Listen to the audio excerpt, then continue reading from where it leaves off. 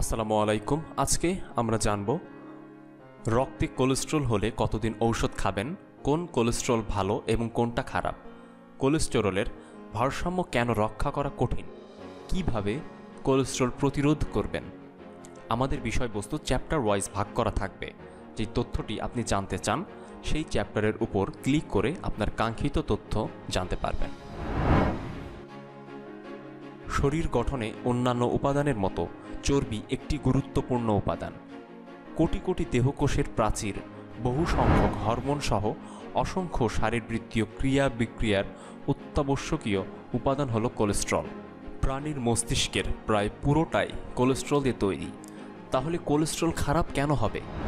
বিষয়টি খারাপ বা ভালোর নয়। প্রতিটি জিনিসেরই একটি মাত্রা থাকে। মাত্রা ছাড়িয়ে গেলেই সমস্যা দেখা দেয়। আমাদের কোলেস্ট্রলের মাত্রা জানতে হলে অন্তত দশ ঘণ্টা খালি পেটে একটি লিপিড প্রোফাইল করা দরকার। লিপিড প্রোফাইলে টোটাল কোলেস্ট্রলস এইচজিএল এবং ট্রাইগ্লিসারাইডস এর বিস্তৃত বিবরণ থাকে।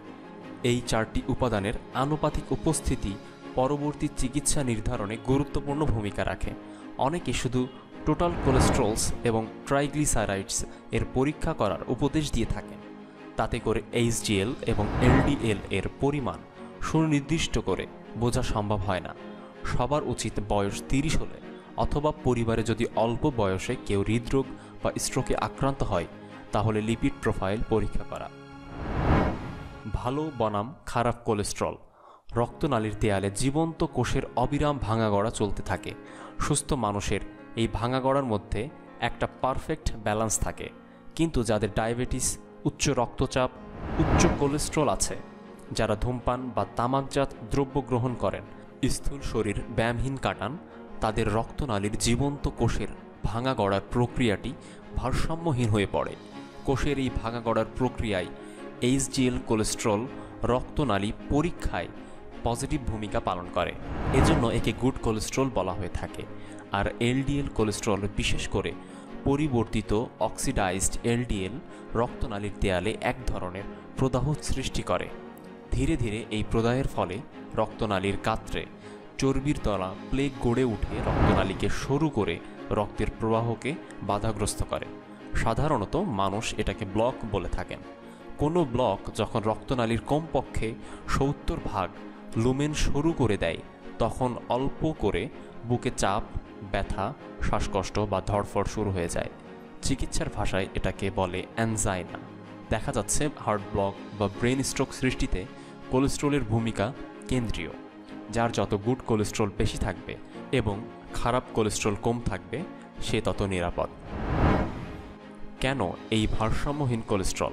আমরা যখন রোগীকে বলি যে, গরু, খাসির মাংস এড়িয়ে চলুন, তখন অনেক রোগী প্রশ্ন করে কেন, স্যার? গরু তো নিজে ঘাস খায়।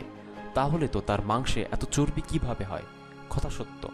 গরু ঘাস খায়, তবে গরুর শারীরিক গঠন ভিন্ন, তার ফিজিওলজি ভিন্ন, আর শরীরের চর্বি তৈরির কারখানা হলো লিভার। যার লিভার চর্বি তৈরির জন্য যত মুখিয়ে থাকে, সে ততই শাকসবজি, ঘাস খাক না কেন, লিভার তার কাজ চালিয়ে যাবেই। এটা হয় যখন শরীরের মেটাবলিজম পাল্টে যায়। বিশেষ করে ডায়াবেটিস, থাইরয়েড হরমোনের ঘাটতি অ্যালকোহল পান, বাড়তি ওজন, হাঁটাচলা না করা ইত্যাদি ব্যাপারগুলো উপস্থিত থাকে। এসব কারণে লিভারের কোষে রেসপিরেটর সমস্যা দেখা দেয়, ফলে অতিরিক্ত মদ, কোলেস্ট্রল রক্তে ভাসতে থাকে। বিভিন্ন অঙ্গে, বিশেষ করে হার্ট ও ব্রেনের রক্তনালীর দেয়ালে চর্বি দলা জমে এবং এটা জমে ব্লক তৈরি করতে থাকে। প্রতিরোধ, যেসব কারণে কোলেস্ট্রল মেটাবলিজম ভারসাম্যহীন হয়ে পড়ে, সেগুলোর প্রতিকার করতে হবে। ডায়াবেটিসকে পূর্ণ নিয়ন্ত্রণে আনতে হবে, ধূমপান ও অ্যালকোহল বর্জন করতে হবে, ওজন কমাতে হবে, প্রয়োজনে চর্বি কমাতে নিয়মিত স্ট্যাটিন জাতীয় ঔষধ খেতে হবে। ডায়াবেটিস যাদের আছে, তাদের বয়স চল্লিশ হলে সারা জীবনের মতো স্ট্যাটিন খেতে হবে। ডায়াবেটিসের ঔষধ যেমন সারা জীবন খেতে হয়, তেমনি চর্বির ঔষধও সারা জীবন খেতে হবে। অস্বাভাবিক পরিস্থিতি ছাড়া স্ট্যাটিন কখনো বন্ধ করা যাবে না। অনেকে চর্বির মাত্রা স্বাভাবিক হলে ওষুধ বন্ধ করে দেন। এটা একটা ভুল ধারণা এবং অবৈজ্ঞানিক সিদ্ধান্ত। ডায়াবেটিসের ওষুধ বন্ধ করলে রক্তের সুগার যেমন বেড়ে যায়, তেমনি কোলেস্ট্রলের ওষুধ বন্ধ করলে তা বাড়বেই। লক্ষ্যমাত্রা কত? গুড কোলেস্ট্রল পুরুষের ক্ষেত্রে চল্লিশ মিলিগ্রামের উপরে এবং মহিলাদের ক্ষেত্রে পঞ্চাশ মিলিগ্রামের উপরে থাকতে হবে। খারাপ কোলেস্ট্রল, এলডিএল, মাত্রা সুস্থ মানুষের জন্য একশো থেকে একশো ষাট মিলিগ্রামের মধ্যে থাকতে হবে। যাদের ডায়াবেটিস আছে, তাদের ক্ষেত্রে একশো এর মধ্যে রাখা নিরাপদ। আর যাদের ইতিমধ্যে হার্টে ব্লক ধরা পড়েছে বা ব্রেন স্ট্রোক অথবা পায়ের রক্তনালীতে ব্লক ধরা পড়েছে, তাদের ক্ষেত্রে এলডিএল এর মাত্রা সত্তর মিলিগ্রামের নিচে রাখতে হবে। ট্রাইগ্লিসারাইডসের মাত্রা দুইশো মিলিগ্রাম এর নিচে রাখা ভালো। স্বাস্থ্য সম্পর্কিত আরও তথ্য জানতে আমাদের এই ভিডিওগুলি দেখুন।